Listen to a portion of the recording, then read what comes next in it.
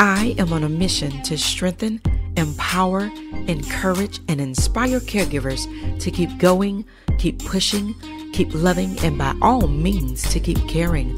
Welcome and thank you for tuning in to season two of the My Favorite Girl Caregivers Corner podcast. I am your host, Priscilla Jean Louis.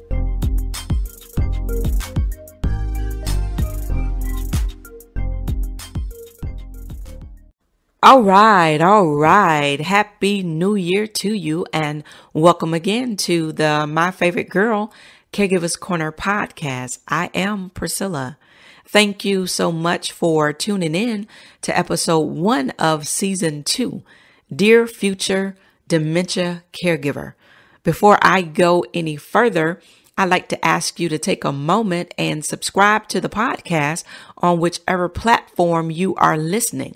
That way you'll receive a notification whenever an episode drops. And then I want you to take a moment and share it with your family and your friends, especially those who are serving as caregivers. Whether your journey of caring has just begun or if you've been traveling on this road for a while, the conversations we are going to have are sure to strengthen, encourage, motivate, and inspire every listener to keep going, keep pushing, keep loving, and to keep caring. Y'all know that's my mission. As you may or may not know, I am the primary caregiver for my 79 year old mother, who I affectionately call my favorite girl. That is the reason why I have named this platform what it is my social media platform, my favorite girl in Alzheimer's. It is after uh, my mom, my lady, my favorite girl. And then I also have my 98 year old grandmother and uh, both of them who are living with dementia. I know, right? Yep, two people.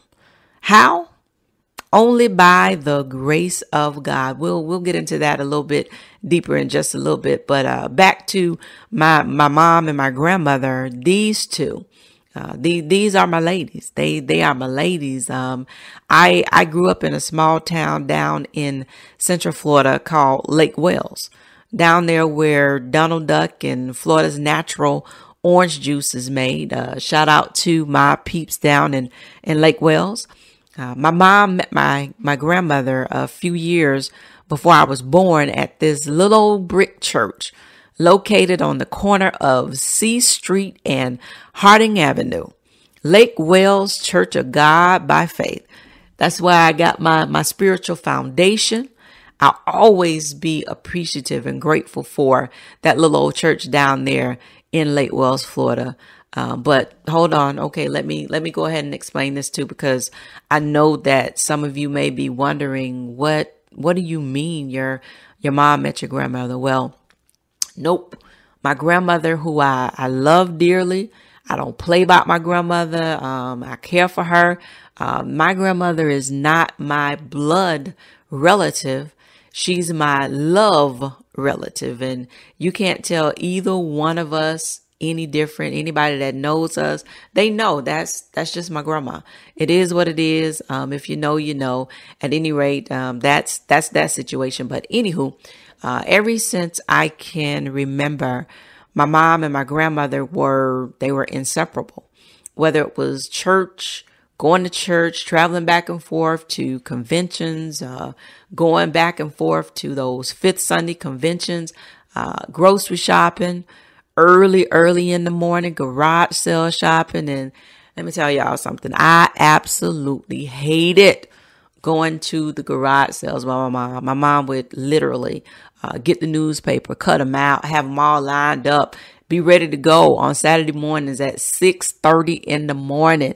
And I totally hated going to the garage sales with them because it was literally an all day long experience. But I absolutely love being with my mom and being with my grandmother. So I would get up early and I went with them because usually after the garage sales, it was also a grocery store run, and we would go all the way over to Lakeland, Florida. I'm not sure if you know where that is, but it's down there in Central Florida as well. And so usually the trip would end up being a trip to the grocery store as well. It was just all day long. And I hated going to those places, but I absolutely love being with my, my mom and my grandmother. And um, there wasn't a day that went by unless we were out of town and my grandmother just didn't go with us. Um, there wasn't a day that they weren't together. And there were very few of those days that uh, I wasn't tagging along right behind them or sitting up somewhere right up under them. And, you know, being up under them, I got to see and learn so much. My grandmother is a, a church mother, and um, she's one who, growing up, did not believe in being late to church at all. She lived by that saying, if you are on time, you're late.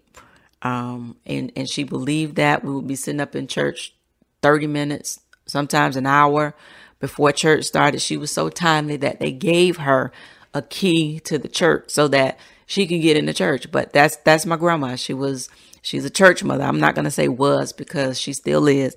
Come over here right now. She's always singing hymns and praying. Um, 3:30 in the morning, she'll wake up praying. But anyway, um, I, I learned so many things just being up under them, her and my mom. And I think that's why my mom stuck so close to my grandmother because there were so many things that she too gleaned from my grandmother. And the two of them, you know, they taught me what it means to genuinely love and care for all people. Neither one of them would ever meet a stranger.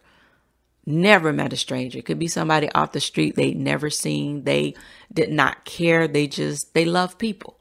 They love to give. They love to care. And I learned that from them. Um, I learned to to love and to sacrifice for and to care for family, to put the needs of other people above my own needs. And they taught me how to live out the scripture that says we are to do unto others as we would have them to do unto us. And uh, my mom, I, I watched my my favorite girl care for my grandmother, her mom. I watched her care for her who she too had Alzheimer's dementia.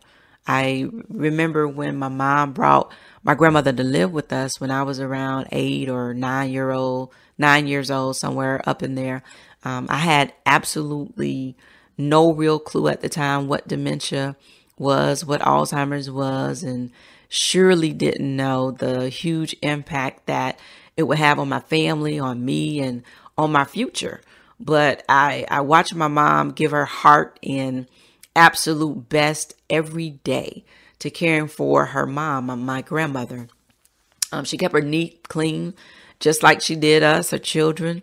When my, my grandmother got to the point where my mom could no longer care for her uh, in the more advanced stages of the disease, my mom had to make the choice to place her, or make the decision rather, to place her in a nursing home. And even then, my mom working full time, she had four of us, four children at home.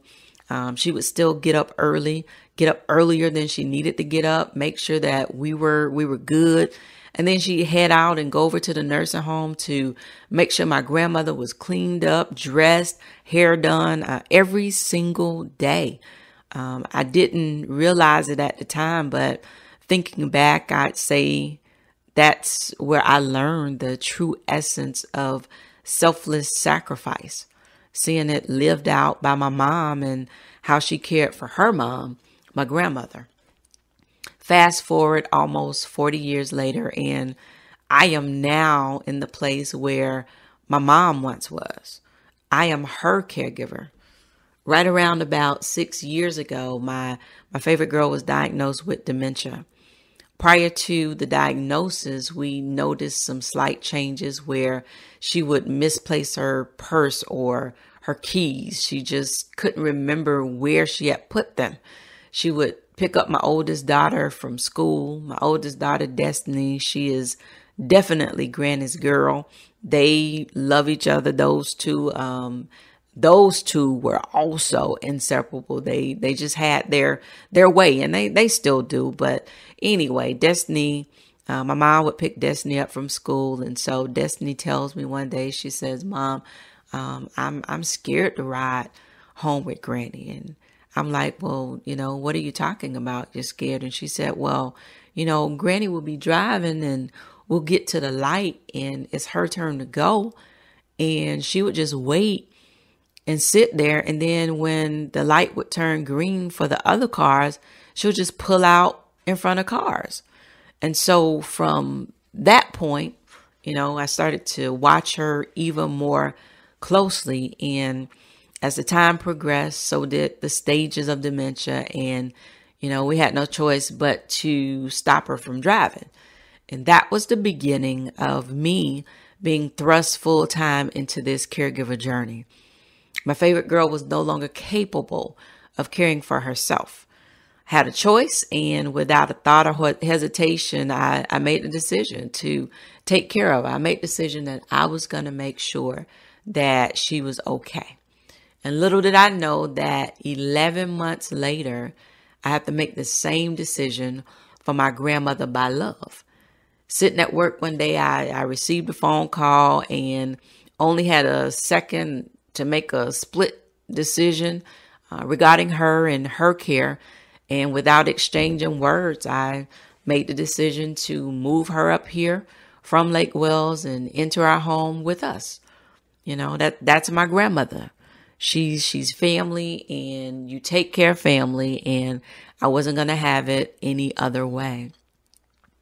Caring for two with dementia is it's a lot. And uh, it definitely has its challenges. Uh, my favorite girl is She's at a more advanced stage of the disease than my grandmother. And uh, for me, sometimes it's just it's not so much the the care side of it. The care side is it's become a little bit more now with my grandmother, but the care side is not really the side that um is difficult for me. For me, it's it's watching the effects of the disease on on my favorite girl, on my mom, um, at times, some of the things that happen, some of the things that she does, I often say there's never ever, no day is ever the same. You just don't know what you're you're going to wake up to. And uh, you know, I've seen a whole lot of things over these past uh, almost six years that I've been living with her, and um, you know, those are the things that can at times they can they can pull at everything within you, uh, within me. And so that's because, you know, it's not just, my mom is not just somebody that I just provide care for. That that's my mama, y'all. That's that's my lady. That's that's my girl. And so watching this disease and how, especially as it advances and some of the things that uh, she endures, some of the things that um, the behaviors that come along with it, the things. She's at a point right now where, you know, she's on on more finger foods uh, because she it doesn't correlate anymore that a spoon is a spoon and a fork is a fork and you use the utensils to eat your food with. That that doesn't really register. It doesn't register anymore. And so you know it's things like that that it they sometimes can can really pull at your your heartstrings. And so um, you know being where i am now and thinking back to when my mom was caring for her mom i find myself applauding her her strength and the grace that she exuded before me i know it was hard and no doubt i'm sure that her pillow may have been filled with tears many nights but I watched her press on and she kept right on caring. Through her faith and her trust in God, I think she learned, uh, even as I am learning daily, that God's grace is truly sufficient enough. That's it. That's how I do it. Um, I do it by by the grace of God. My faith in God is what helps me to continue doing it every day. My my faith in God is what sustains me. Uh, it's what allows me to show up every day and give caring everything I have. Is what I got to see in action through my mom. And now is what I get to put in action with my mom.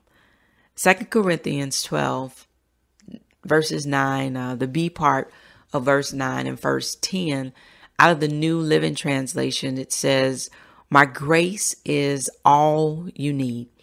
My power works best in weakness. So now I'm glad to boast about my weaknesses so that the power of Christ can work through me. That's why I take pleasure in my weaknesses and in the insults, hardships, persecutions, and troubles that I suffer for Christ. For when I am weak, then I am strong. Yes, I have my weak moments, many weak moments on this caregiving journey, but what I've also learned and what I've found is that when I'm at my weakest, God really is at his strongest within me. And he's shown me, and I know and I am confident that I am graced to care. Dear future dementia caregiver, I don't know if you will ever really be fully prepared for the things that come along with this caregiver journey. But during this season, myself and my guests, we're going to share with you some of our experiences some of the ways that we cope, and some inspiration to help you as your journey begins. I can't say it will be easy because some days will be really tough, physically, mentally, emotionally. But I will tell you, you can do it. Some days you will definitely feel like you can't go another moment and you'll want to quit. Don't. There'll be times that you will laugh and laugh hard. Look for those moments in every day. And when you can't find them, create them. And when those moments of loneliness come, and trust me, they will come, know that you're not alone. We're here for you. We've got your back. And never forget when you're at your weakest moment, that's when God's power works best. You too are graced to care.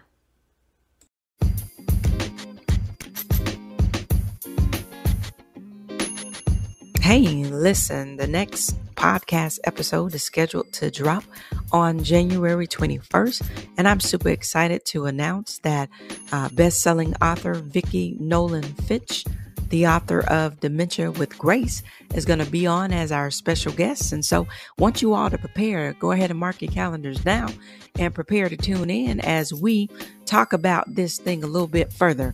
Dear future dementia caregiver.